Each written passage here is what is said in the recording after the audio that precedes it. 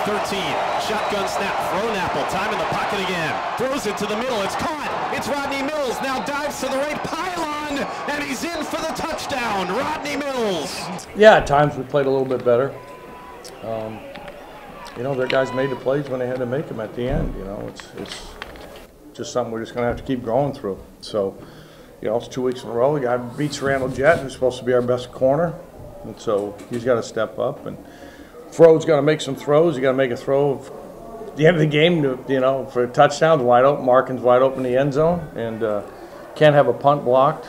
And so that was just a mental error. So uh, we just correct those things. And some things we got a little bit better.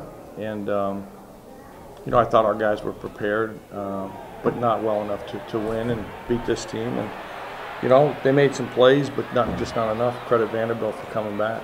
It's almost like um, you know, you know, offense is hoping defense gets the stop, and defense is hoping offense can score and try to help like help the one out instead of just almost like I've, I've said before, just kind of stepping on the gas even more and trying to you know, do it yourself. We had plays to be made, and I mean, I I, I missed too many, and that's in the second half. I mean, we can't do that. I mean, it's an SEC team, and you have to be you have to play near perfect. Here's the snap back to McDonald, and he's going to throw it. He throws it, has a man open, it's caught. First down. Here comes UMass's Rodney Mills. Mills down the right sideline, and he's going to score on a fake punt.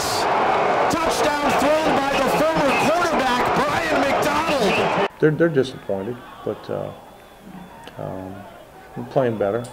You know, it's a good you know SEC team down here in Nashville. Should we won the game? No, we didn't do the plays we're supposed to do it. So that's everybody. That's coaches involved too. We do a lot of good things in practice, but can't take them to the game. So we just got to keep practicing. But uh, um, you know, Blake had been good. You know, he hadn't he'd made one before. He'd been perfect on extra points, and it's the hatch he likes. So he just missed it. I left Marshall University, and I came 13 hours away from there to a place I've never been to have a chance to be the guy and a chance to make the place. And that's why I came here and did all those things. And, and having the opportunities and not making them is what's the, the most frustrating part. Plus, when they were there to be made and it could have changed the outcome of the games, and it's frustrating.